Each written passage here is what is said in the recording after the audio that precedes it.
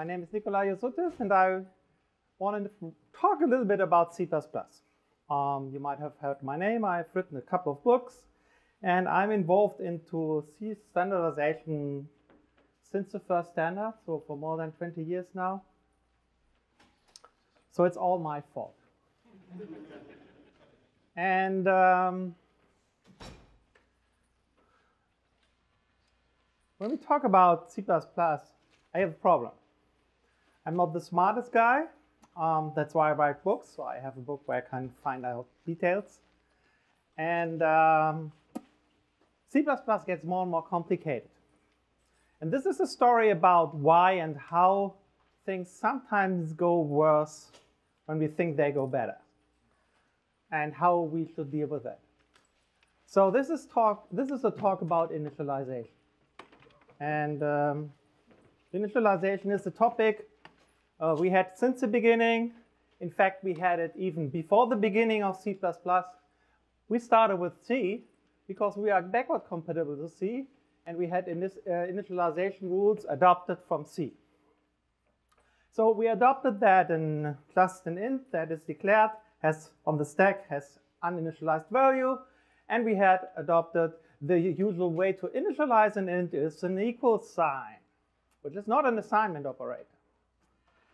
And um, the way, well, the way when we have aggregates, so structures or arrays to initialize a value was using an equal sign and um, curly braces.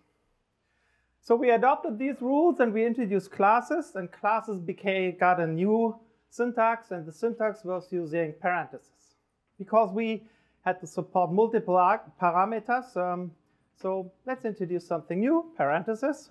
And um, it turned out that we adopted this syntax for the existing fundamental data types. So we could use them to initialize an int in uh, different ways, um, either directly or by with the expression type and then the empty parenthesis to create an int and guarantee default or guarantee an initialized value there, which is especially important for templates. And then we had, um, okay, the problem that the containers we couldn't initialize. So that was roughly the situation when we thought we have to do something with this. Oh, let's make it better. And one thing we should make better is to harmonize things because oh, everything I, you see here on the slide could be a type def. And if you see a type XY and you don't know whether it's a fundamental data type or whether it's an aggregate or whether it's a class, you have no clue how to initialize it um, unless you know the details. So um, we have another problem with this uh, existing category. We have um, different ways to initialize, different terminology, and different rules. So everything, every little piece was a little bit different, and therefore we introduced about um, seven primary terms about initialization in the standard. I don't explain them here. So different rules, different terms, um, different syntaxes. Let's make it uniform. But of course, we have to be backward compatible. So the decision was to take the curly braces as uniform way to initialize. Which means, of course, being backward compatible, we exist the existing ways to initialize an int and we got a couple of new ways to initialize an int.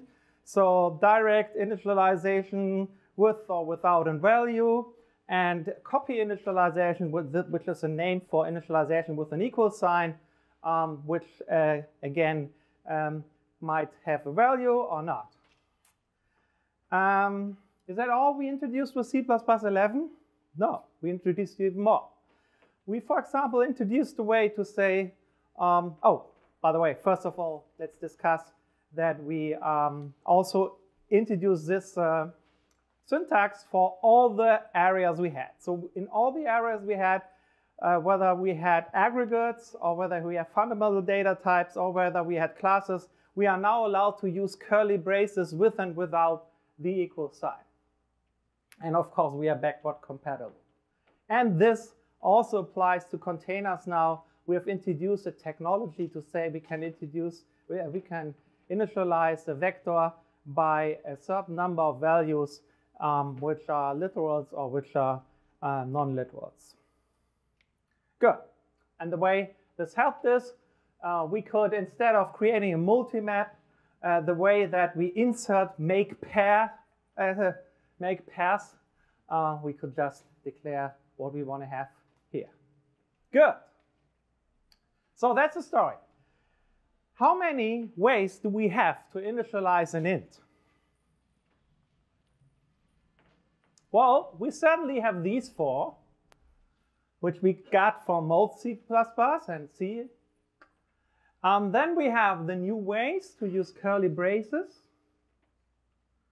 But then there's more. We also can initialize an int by using auto. Um, so that the type is also somehow deduced from the initial value. And there again, we have different syntaxes with some interesting consequences, which we have to discuss in a moment. And then, well, while I was preparing this talk, no, well, let me say it that way. While I was starting to think about this mess, I thought, well, is there even more? Oh yes, let's try out parentheses. So this, this works, but it's something different. Um, this, does this work? No, that's a compile time error. Hey, Pablo, you should know. you are on the committee.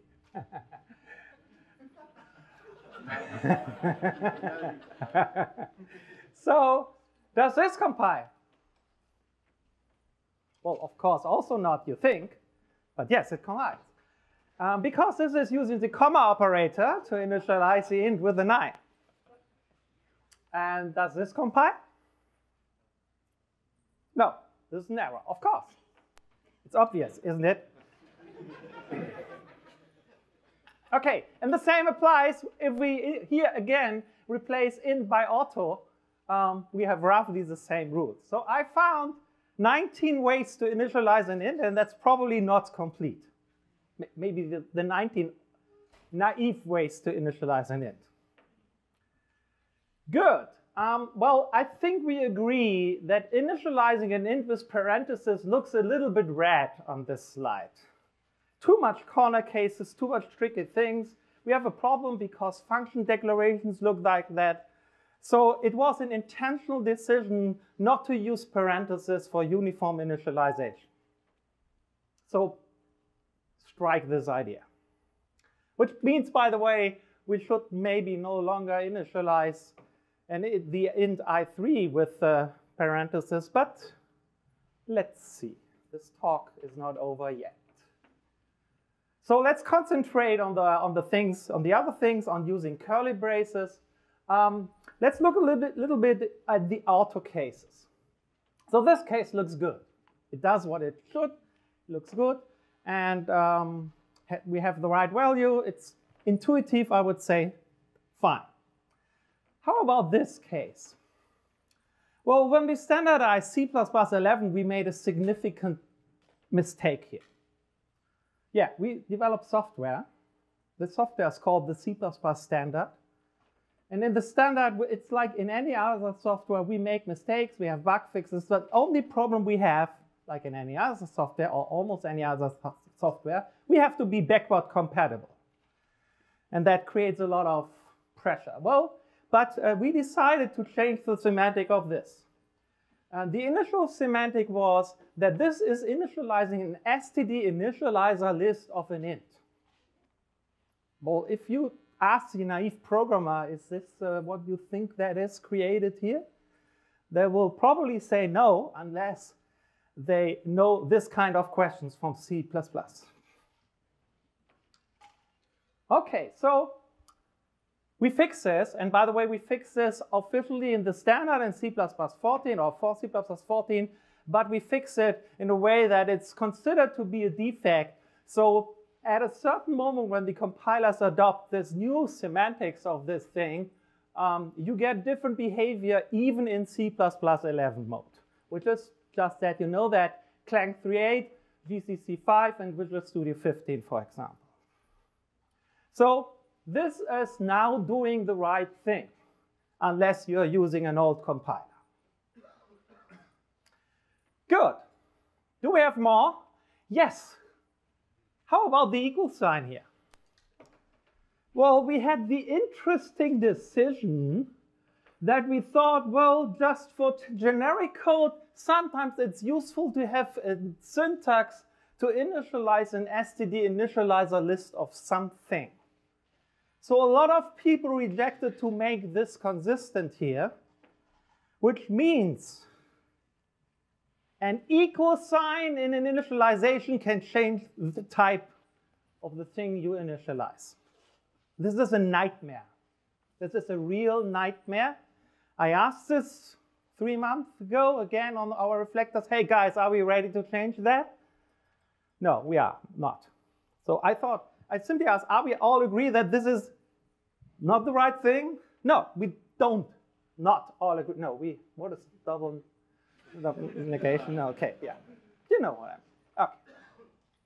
So yes, this will probably remain to be the case until we fix this, really, we really fix this. And the intention is probably, and we discussed this a little bit further, um, the, the, intention is that we will mo not modify the semantics of this. We will disable this at all. And, there, and that's, that's my thought about the likeliness of how this will become fixed. And uh, we, until we get something like this, so if we have something like to be the ability to declare an initializer list of auto, so that, that the uh, that the type that this can be part of a template, that the type of the elements gets deduced from the thing on the right. And by the way, uh, we might at the same time uh, be able to declare an array of auto here that way. And the roughly idea is that the moment we have that, we no longer need I11 support.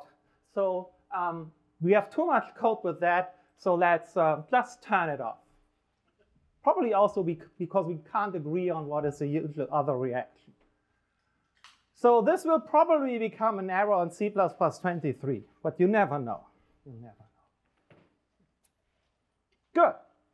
So I think we might have a consensus already, but if not, we will probably have consensus that initializing with auto and the equal sign and curly braces is a combination you shouldn't use. Probably not even now. So is, does it mean, well, looking for a common pattern that we have learned something from this?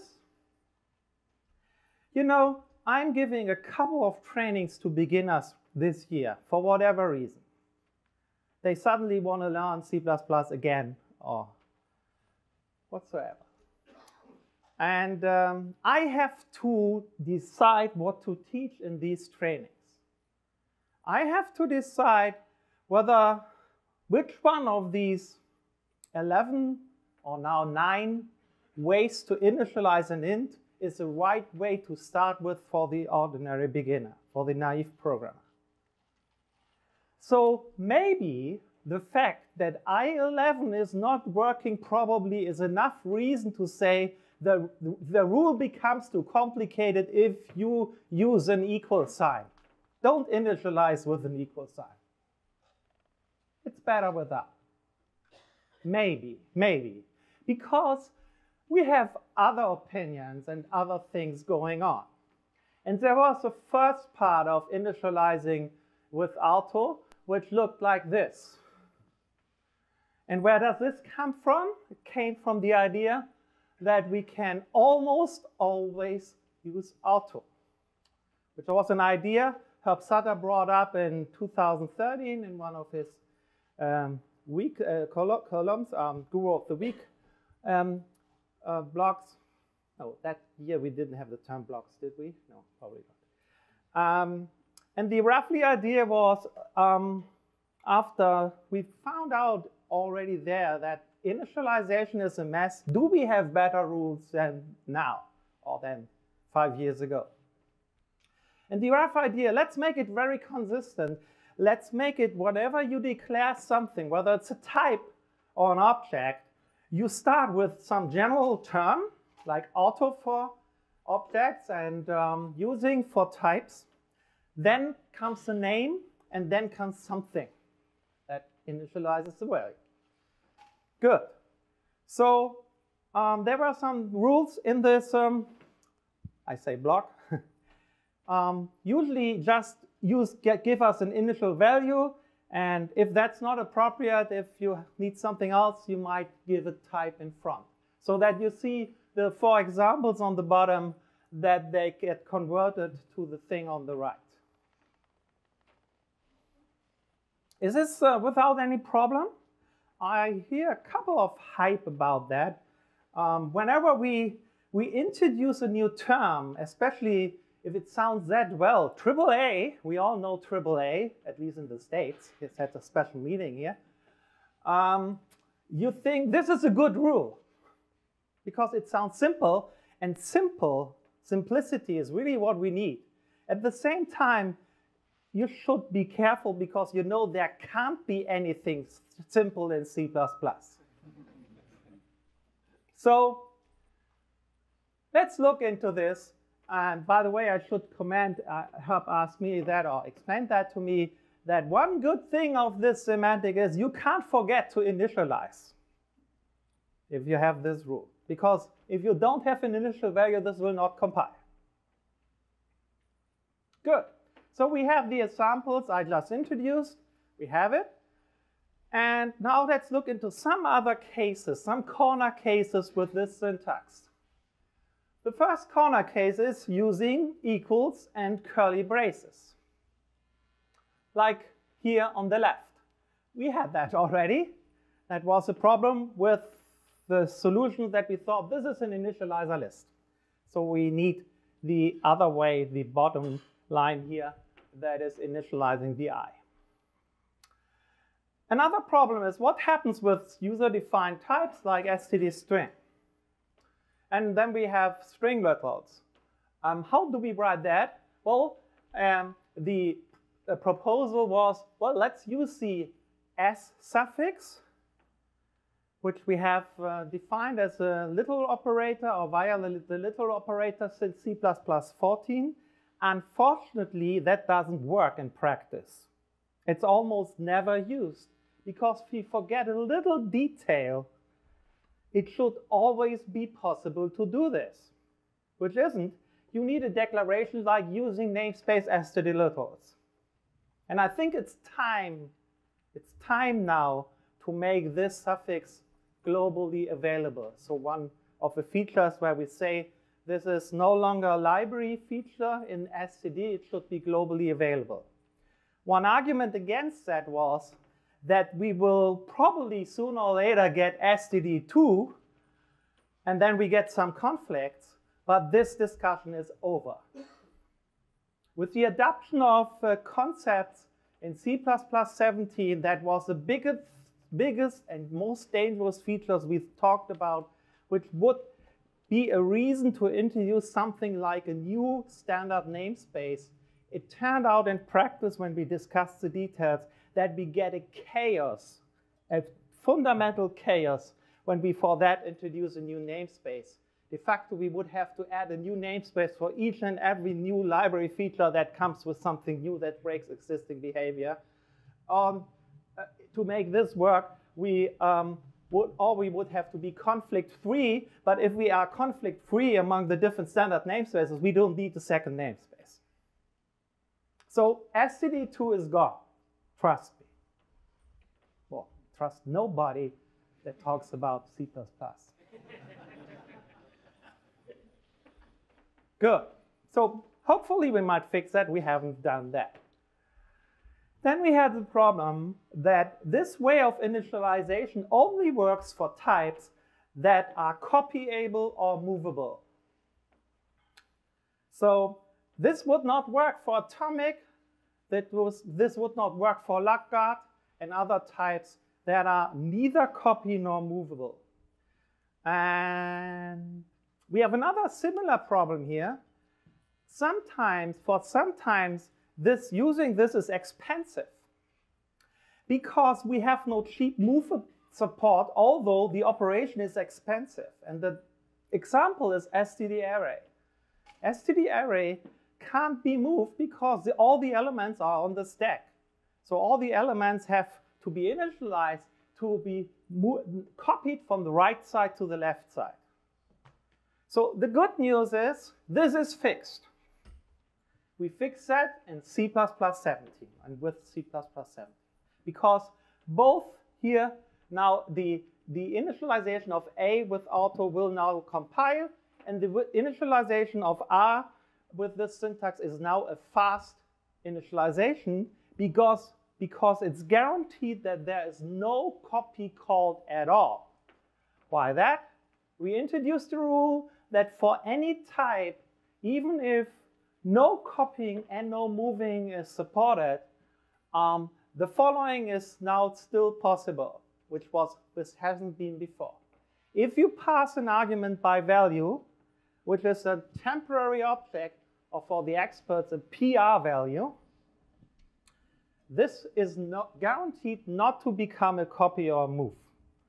In the past, the compilers had the freedom to optimize things away here, but now they are required to do so. And because they are required to do so, we can guarantee that this works even if no copy or move constructor is defined. Copy and move constructors if not defined. Um, the same is true for return values. So if we return a temporary, a temporary object, it's no longer necessary that the data type has to has to support copying or moving. This only applies to the non-unnamed return value optimization, not to the named return value optimization. There you still need something because the named return value optimization uses L values or something similar.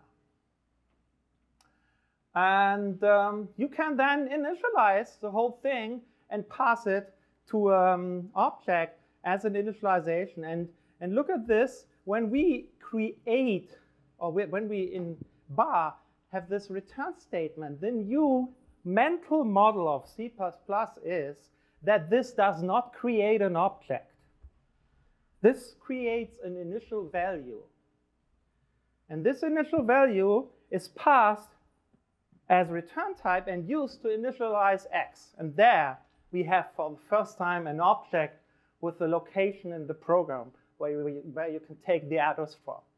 So even if you take the returned value and pass it to foo because you pass it by foo, you still to foo, you still haven't created an object until you get to the moment where inside foo the parameter is declared.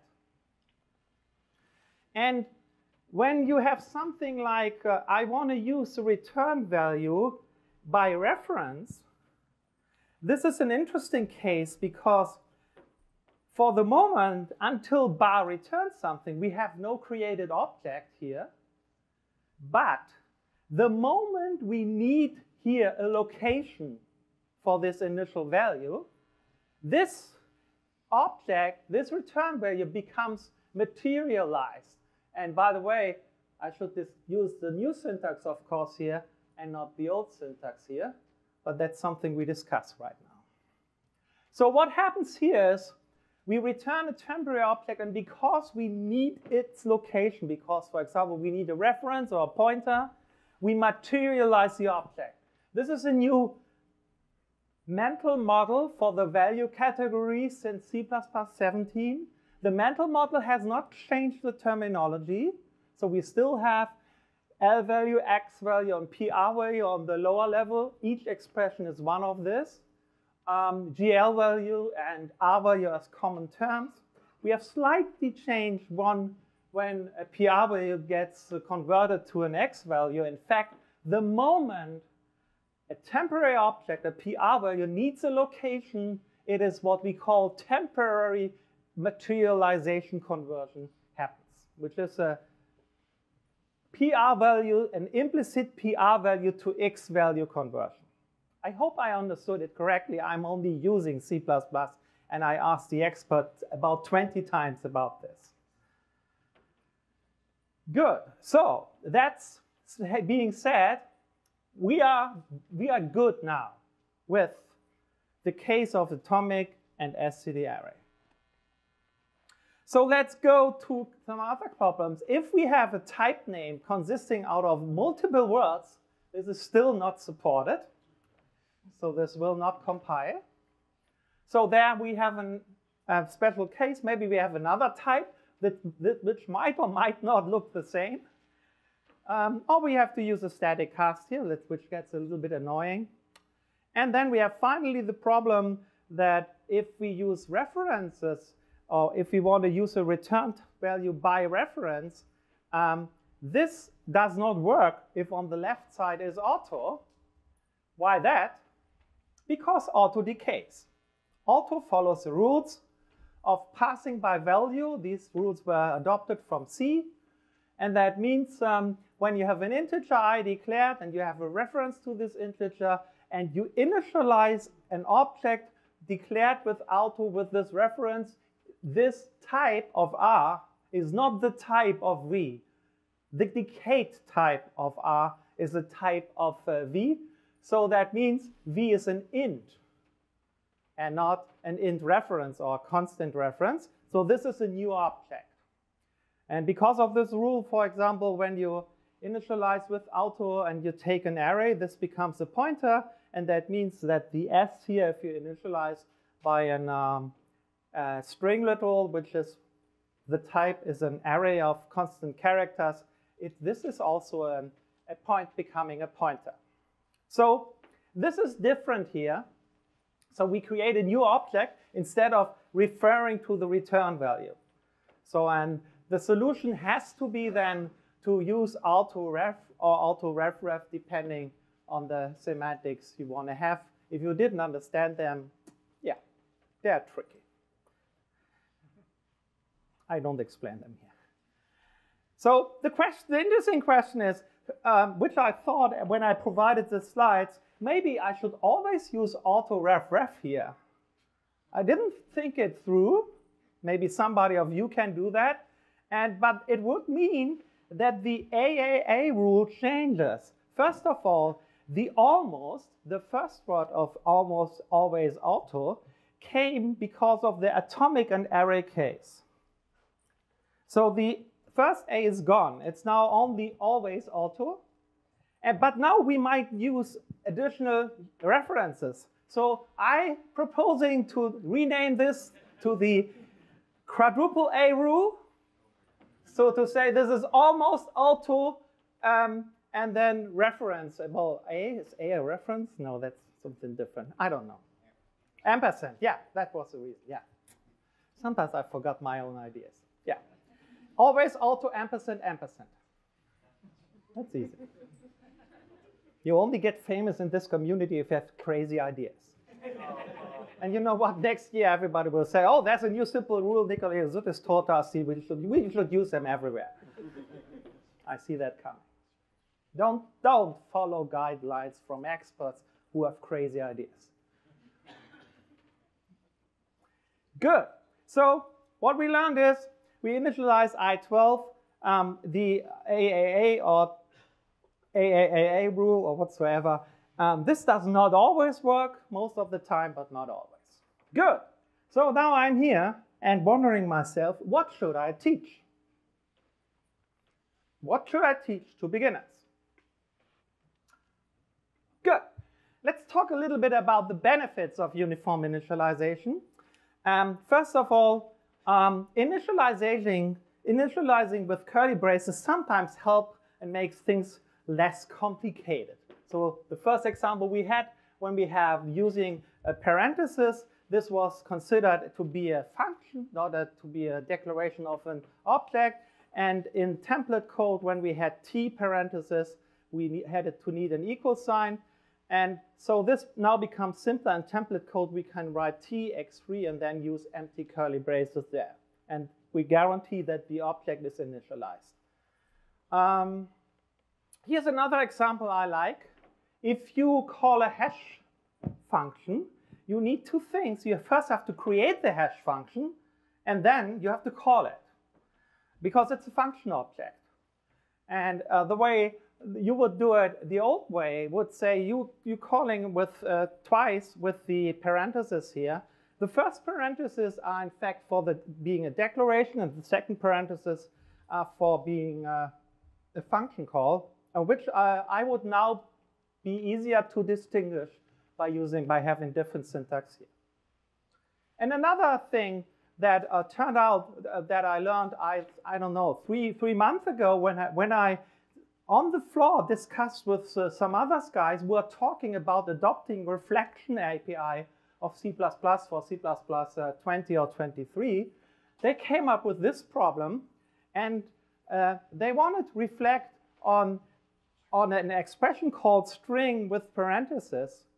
And the interesting thing was they were discussing whether they give and how they give string with parentheses different semantics so that uh, they can express whether they reflect on the type, so I call a default constructor here, or whether they reflect um, on, a construct, on the constructor call, on the function. And the, it was funny because I was remembering my old days when I thought, hey, why, why should we do that? We saw, we had this problem before. So why, why do you need something else? If you want to reflect on the constructor call, use curly braces. And if we want to reflect on the type, use parentheses. Because that was a solution I learned 20 years ago for a similar problem. 20 years ago, I wrote code like this. When I wrote uh, the first edition of the C++ standard library, I ran into this problem. Um, I was using namespace, which is important here, as using namespace std, and then I was declaring, I thought I was declaring an object v of type vector of int initialized by two objects that read from the input stream, so from cin. And that's the way you can do that. And it turned out that this compiled. Great. But the moment I tried to use a vector, I got an incredible bad error message. Because what was happening here, I didn't declare an object. I declared v to be a function with a return type vector of int and two parameters. The first parameter had the name cin and was of type istream iterator of int. And the second parameter had no name, but it was a parameter for a function taking no arguments and returning an iStream iterator of int. That's obvious, isn't it? we call this a most vexing parse problem, or one of them, which means um, when we parse, we try to parse it as good as possible, and in doubt, in doubt, we interpret it that way. Uh, I'm not a core expert. I needed a couple of core experts to explain me what's, what's going on here.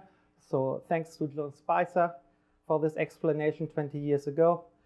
And uh, the solution was that we needed an additional pair of parentheses. And you know what? If we would have had uniform initialization, the solution is easy. Uniform initialization says use braces. Braces can't be interpreted as a function call. So the problem has gone away. So what else do we have? We have another benefit, which you probably all know. The curly braces disable implicit narrowing. So when we, coming from C, initialize an int with 7.8, this works. This doesn't even give a warning. And you get the value of 7. Then you initialize um, uh, an int with curly braces, this is detected. When you initialize an unsigned value with a maybe signed value, this uh, is okay if you use the old way to initialize, whether it's the assignment operator or parentheses, um, with uh, using uh, uniform initialization. This is detected, and this also applies to vectors of int taking doubles whether as a literal or whether as a type. Um, not all compilers follow this rule. Um, so in GCC and Clang, please enable minus minus pedantic errors to get this um, feedback. Great. So because narrowing is always bad, isn't it? Uh, it's not that way. Look at this uh, simple example. You have a character C, initialized with A, and I want to increment this character. So what I might do is I initialize another character with C plus 1,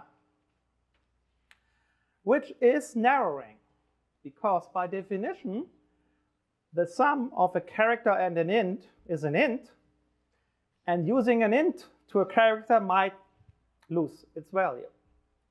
So this will not compile, and in this case it might be bad. Uh, people would have to write a static cast, or they use the other way of initialization we still have. Thanks goodness. So the good thing is what you learn from that is it's not the case that we should say always use brace initialization. Use it maybe as a default, but for special cases, use it the other way around. And there are other examples like that. Here's another example that is pretty well known. Um, when we initialize objects, um, we can initialize them the, the old-fashioned way and the initializer list way. By the way, we have some interesting terminology confusion here because what you have there on the bottom is uh, four initializer lists. But what people often mean by initializer lists, they mean standard initializer lists. So standard initializer list is a special way to deal with initializer lists. Uh, in that way, they have to be homogeneous. So um, the first three constructors call the first uh, two constructors the classical constructor, no, the first two, excuse me, and the last two call the last, uh, uh, the last initializer list constructor. Well, um, wait a minute. Please, please beware, whenever you need an STD initializer list, there have to be curly braces, otherwise it doesn't compile. So that means that the default constructor is not supported here because there is no classical um, constructor taking no arguments. So now things became co complicated when we did overload and had different matches. So when we said, I have an int constructor and an initializer list constructor, and the int constructor has a default value, so it can be used as a default constructor. There are rules for that. The rules are pretty simple. Without curly braces, the std initializer list can't be used. So the first three cases call the first constructor if they compile. With curly braces, well, it's a little bit more complicated.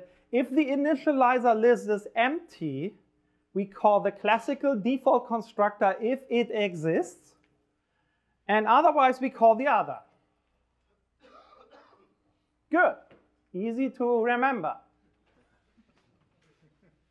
Shouldn't make a difference, should it? Well, sometimes it does. Um, here's an example. In the standard library, we have a vector of int declared, and you could do that in the past. And if you were not using curly braces, so that means you didn't use the initializer list constructor, we were creating a vector of three elements of value 42, and now with curly braces, we have different behavior. For some people, this is a proof that we made something wrong. For me, it's a proof, well, and what we made wrong is to introduce initializer lists. This is a proof but this is not a proof that initializer list is wrong. This is a proof that the constructor of a vector that applies to the first rule is wrong. And we should not standardize that anymore because any naive programmer would say, yeah, V2 is the thing that should happen in all these cases if it compiles. And so this is, um, again, a, a, a good example that we might sometimes, because we need the first behavior, use a, a, a different way of initialization, but the curly braces are self-explanatory and therefore better to teach. So how can we initialize a vector of string? Well, let's look at a vector of string um, in various cases. So the first thing doesn't compile because um, this uses the initializer list constructor. Remember, the elements are strings, so it has to be convertible to a string. So uh, we have no curly braces, this will not compile. About the second case, we have to talk a little bit in a moment. Um, then we have uh, multiple elements assigned, and then we deal with additional curly braces, just for fun. Did you ever do that? So uh, it turned out that VO4 or VO5 are okay, VO6 is not, and VO7 is interesting. Because it's a fatal runtime error, um, the problem is um, this has not the right number of braces. Either you have to have the right number of braces, roughly, or only one pair of braces. That's, that's not the exact rule. I didn't understand it as a core guy. And um, the problem is what happens here is uh, we interpret these two parameters as iterators. So these are iterators. That means that is the begin of the range and that's the end of the range. And they, refer, they should refer to the same range of characters because characters convert implicitly to strings. This will compile. If you're lucky, you get a core dump. If not, you have a big problem. So yeah, things like that happen. That's, by the way, not at the fault of the equal sign. You have the same problem without the equal sign. Good. So not everything works fine in both ways. Um, let's look at enumerations. Enumerations, we uh, introduced something in C++ 17, which is a rule saying when you have an enumeration with uh, a fixed underlying type, and then it's okay to initialize an enum with using direct list initialization, which means using curly braces and no equal sign. This is the only valid thing. Anything else will still not work. So we made S3 compile in C++ 17 in case we either have an enum class or we have an enum with this explicitly specified underlying type. Um, if you have a classical enum, without a specified underlying type, this will still not compile. You have no way to do that without a static cast. And uh, the reason we introduced that was, for example, to support something like std byte, that we can declare an object std byte easily by having at least one signature to give it an in, uh, initial integral value. Next question, direct or copy?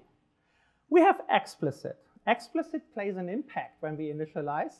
It only plays an impact when we initialize with the equal sign. Without, it doesn't matter. So, but with, it does matter. So look at these initializations here for a collection. We say we don't want to have an implicit conversion from int to collection. So let's um, look at this. Without the equal sign, everything compiles. Doesn't matter whether we have explicit there or not. But with, that, with, we have to double check, is there an implicit conversion? And there is. Because the thing on the right has a different type. So the constructor has to be called. And we don't explicitly specify on the right side with to which type we want to explicitly convert. So this will not compile. Um, things become interesting if you have something like this. You have a collection and uh, you have sometimes explicit and sometimes not. So you get the following behavior that, for example, due to the rules we had, initializing with curly braces might sometimes work and might sometimes not. Because uh, without the a value inside, according to the rules we had, the um, default constructor is called, which is not explicit, and Otherwise, the other constructor is called, which is explicit. And that also applies to initializations with equal sign. So copy initialization. Which, of course, confuses a lot of people. And uh, we made every mistake also by the standardization. So here's an, ex uh, here's an example which we had, which is um, class vector in C++ 11. Look at this. Class vector has uh, default constructor being explicit and initializer list not being explicit. This should never happen. Make sure the default constructor and the initializer list constructor are either both explicit or none of them is explicit. This should be a very, very important style guide you have. And we fixed that because look at this. Uh, it was totally confusing for people that V3 didn't compile. And we fixed that in uh, C++ 14. So we now know that here in the case V01, this will compile since C++14. Um, how do we? How else do we deal with explicit in the vector? Well, look at this. We have um, here a class person. Um, if you have multiple arguments or no arguments, now explicit also matters. That means a person can be initialized and can, can be implicitly initialized by an empty curly braces or curly braces with some values inside. So uh, we have to think about whether we like that or not. And we can enable this all. We can disable this all. Then the programmer has to write everywhere person. Or we can partially enable things like this because the argument here is it's always critical if you not intentionally do something else than just writing a name. So it should be that you have to do something else, and if it's only empty curly braces. Uh, it turned out that's a, the, the, the, that's a, the, the direction currently the standard goes. We have uh, fixed a couple of cases or about to fix a couple of cases for that for C++ 20. So you have the following interesting behavior. Look at this. Uh, look at the bottom of this, um, um, the bottom group here. So we can initialize with empty curly braces and equal sign. We can't with a single value. And uh, from time to time, we can't even with another value because we make the mistake that we both declare both constructors together because the second is a default value for the first. And then with multiple arguments, it's again already, it's again covered. Um, we fix that probably. There's currently ongoing a task to fix, for example, V11 here, so that this would compile in C++20. I don't know whether this is improvement or not, because still we have some cases where you need the explicit uh, name and sometimes not. But that's the way it is. Okay, having said that, let's talk about aggregates which are structs or arrays um, traditionally from C. And the meaning of struct and arrays changed over time, changed over time due to different reasons. We have now a new definition of it in C++17 for the first time. We support base classes. So here's an example of what is supported right now. Data can, uh, your aggregate, DV is the aggregate here, can have a base type data and this was before a class. So um, there were this strange rule that, um, no, that was not the strange rule. That was okay. So that you could declare, initialize that, or you have could have that uninitialized. Since C++ 17, this is an aggregate. So um, you can now do things like this. You can pass values to the base class in the initialization. Good. Something when I thought about that, I learned was the following thing. If you have a deleted constructor, which means you have a user-declared constructor, this was still an aggregate. This was introduced in C++11 half intentionally, I would say. Um, so this was, and, and immediately people thought, oh, this is cool. By this trick, I can force the programmer that they have to use initializations with curly braces. Uh, but it was totally unintentional. I mean, you I asked everybody, what does it mean? Oh, it has a delete the default constructor, so C2 should not compile. Um, we fixed that now, and we fixed that uh, uh, um, a couple of months ago in the last um, meetings, and this will be fixed in C++20, having the old meaning again. We still have some other problems. Here's another problem. If we have explicit here, and this is an aggregate, then you can still have this problem uh, that you say this aggregate default initialize, um, but uh, initializing with curly braces doesn't work. And even worse, initializing using the um, parenthesis initializer versus the curly initializer is a difference. So with curly braces, this does not initialize. And that's the reason why template code in the standard library still uses parentheses to initial local objects and not using curly braces here.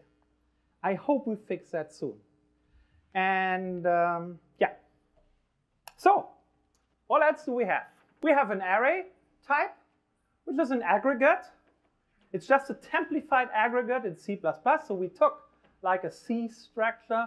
We took now uh, the C structure and templified the arguments, added a few functions so that you can use it like a container, but it is not a full class or not, it, it, it is still an aggregate. So it follows different rules for initialization. So one consequence is if you declare an array without curly braces, it will be not initialized. The values will be not initialized. But there's a more interesting consequence.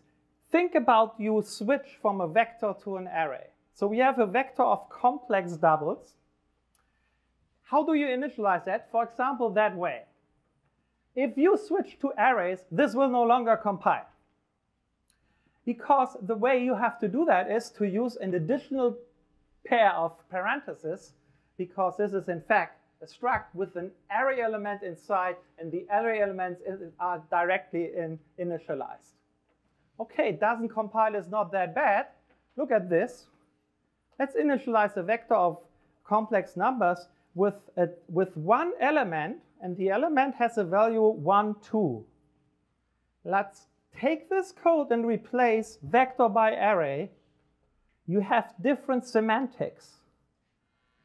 Because now you have a level higher done something, which means you have not initialized the first element, you have initialized the first two elements, the first taking the one and the second taking the two. So what you have done is in fact this. So also some things that drive me crazy. Do we have other issues? Yes. Atomic was, according to the standard, not initializing even if we used curly braces. So I had to teach to you, whenever you use curly braces, the objects are initialized unless you use an atomic object. Crazy. And uh, this, the reason were even crazier because this was uh, the trial of future compatibility to a hopeful consistency and with uh, C in the hope they adopt what, some feature similar to this, which they didn't. Um, so we broke our whole rules uh, because of that. And by the way, we, it shouldn't even then should not have happened there. So um, this will be fixed, thankfully, in C++20. The compilers don't follow the rules. They, they are formally even not allowed to initialize.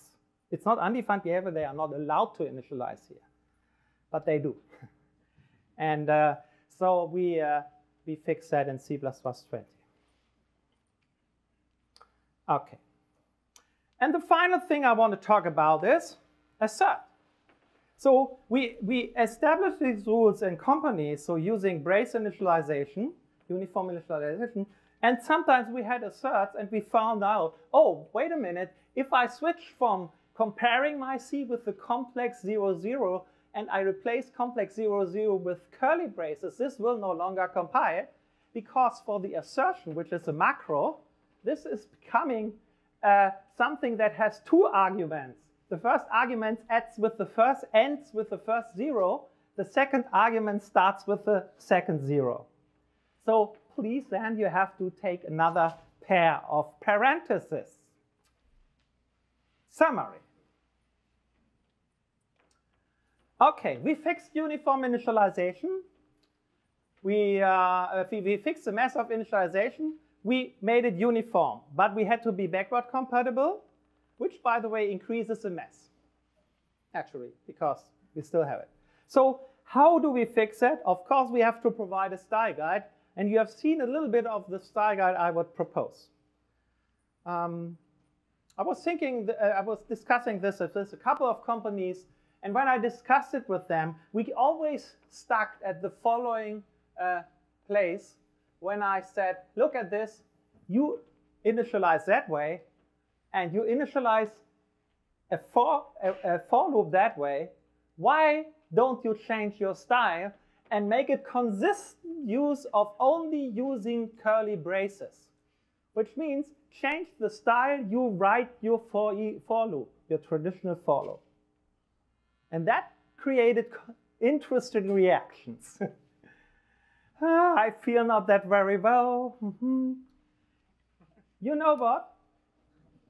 In the company we had done that, which is a company where I now have given, I don't know, five to 10 trainings for 200 peoples, um, we got used to it to like this. I feeling now uncomfortable using the equal sign for initialization even in this case. So sometimes give it a try. That might not be a proof, but we have very well experience with that to say, well, let's everywhere use curly braces now and not without an equal sign. And you have one very simple rule and not dogmatic. If it doesn't work, there are other ways to initialize, and that's it. So I have provided a style guide. Um, this covers an area where Sutter did some research uh, about how to consolidate, consolidate style guides, and he said 5% of all style guide stuff is about initialization. So this is an important topic. Um, they are, unfortunately, they don't all say the same. That's our problem. Though let's look at Abseil. Uniform is a stretch. That's one reason you shouldn't use it. And it's not exactly intuitive. I would claim the opposite, but okay. Interesting, I found this sentence. How much should we change our habits? I don't like it. and we don't believe the benefits outweigh the drawbacks. Okay, everybody has its own opinion. I think they're wrong. In the core guidelines, we, uh, and by the way, what they recommend in there in, instead is this. Use assignment syntax when initializing directly, and they really list all the types, literal types, smart pointers, containers, um, when performing struct initialization or doing copy construction. Otherwise, use the traditional constructor syntax with parentheses. And, in, and if that does not work, use curly initialization without the equal sign. So at the third place is my recommendation. And never mix curly brace and auto because then you run into this problem with the first three rules. I have a different recommendation, which by the way fits roughly with the CPP core guidelines. Prefer the curly braces. And I think it's time to make this common sense in this community and to stop all the discussion about this is worse. This is far better now. This is really far better now to teach and to help people not to make many mistakes. This is not the only way for initialization. I'm talking about the default way to initialize. So make initialization uniform was the first step we didn't succeed in C++ 11. You have seen a lot of fixes that came later in C++ 14, 17, and some of them will come in C++ 20.